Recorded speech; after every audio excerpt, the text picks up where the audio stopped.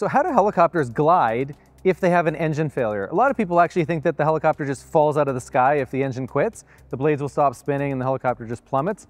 It's actually not true. We have what's called auto rotation. And auto rotation, if you want to think about this in simple terms, it's kind of like the parachute for a helicopter. Some, some airplanes actually have parachutes and people ask, why don't you guys put a parachute in the helicopter?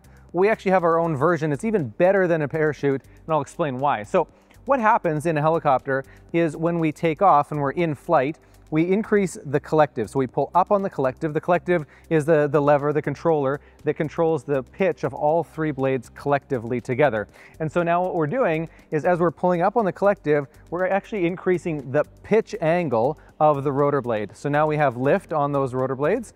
And so when the helicopter is in powered flight, the pitch is up, where uh, the, blade, the, the engine is spinning the blades around, we're creating lift, and so therefore the helicopter can fly around, it can go up, it can go down, depending on where we've adjusted that collective to be. Just give me 30 seconds of your time. I wanna invite you to the Hill Helicopters exclusive presentation. This is a presentation that Ruben and I do online. It takes 30 minutes and we walk you through all the details, the specs, the performance of the helicopter, as well as the development stage that we're at.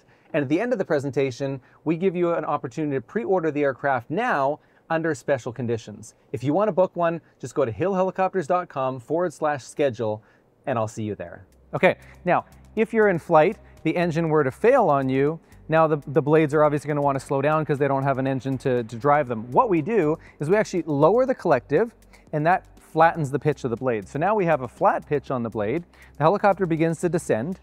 Every helicopter descends at a different rate, um, feet per minute but uh, typically it's somewhere between 12 and 1700 feet per minute that you're descending. So the helicopter is descending, but it's in full control. This is the difference from a parachute. In a parachute, you're just going wherever the wind's blowing the parachute. In a helicopter, we have full control of it. We can maneuver with our cyclic control the same that we would in forward flight. The only thing that we can't do is slow down that descent while we're on the way down. But we have full maneuverability. We can slow the helicopter down. We can speed it up. We can choose a specific location, and it can be a relatively small location for the helicopter to go to um, for our landing. So we can uh, maneuver the helicopter on the way down. Now, because we've flattened the pitch on the blades and we're descending, the air that's rushing up through the rotor system is now keeping that blade spinning at the normal rotation, so normal speed.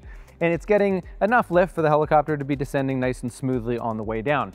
Now at the bottom, we do a maneuver that's called a flare. Now the flare is where you use your cyclic control. You pull back on the cyclic control, which actually brings the nose of the helicopter up. It brings that rotor disc. If you think about the spinning blades as a rotor disc, it flaps that rotor disc back, brings the maximum amount of air rushing up through that rotor disc. That increases the speed of the rotor and increases the, the lift of it as well. So what that does is it slows down your downward and your forward momentum, which is really important to have. So this is at this point only just cyclic control. The collective pitch is still flat, so we still have the collective all the way down.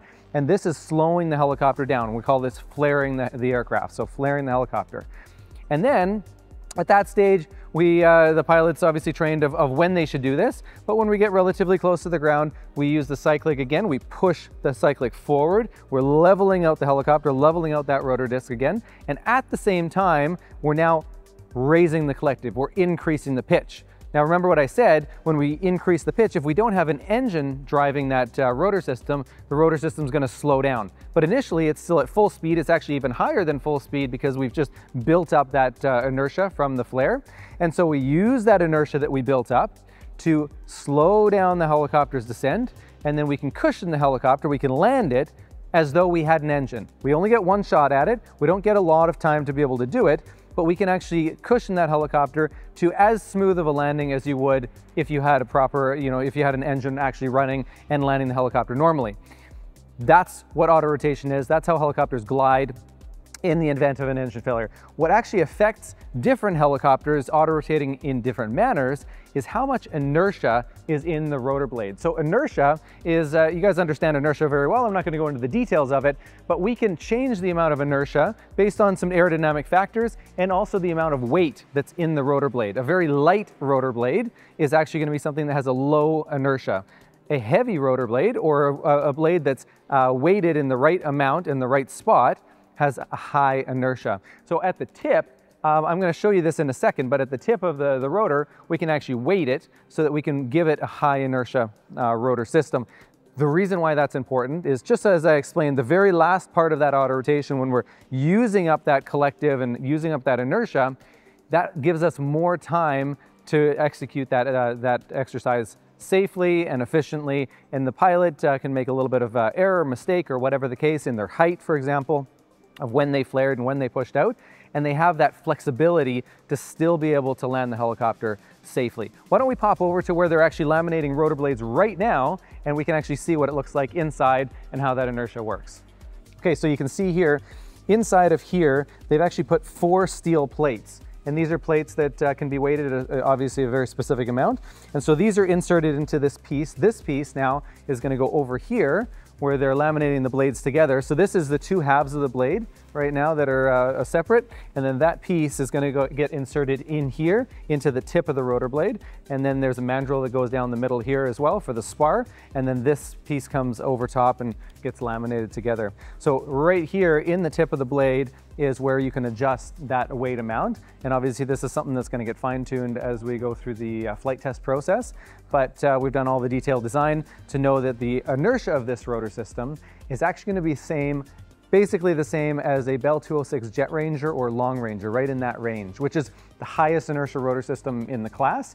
And that's for a two-bladed rotor system. Typically when you get to three or more blades, the rotor uh, inertia typically comes down. So we've been, uh, been able to actually tune that to make sure that we have the same type of inertia as the Jet Ranger, which is absolutely incredible. It gives you a lot amount of time, a lot of flexibility to make that landing as safe as possible. So hope you enjoyed this.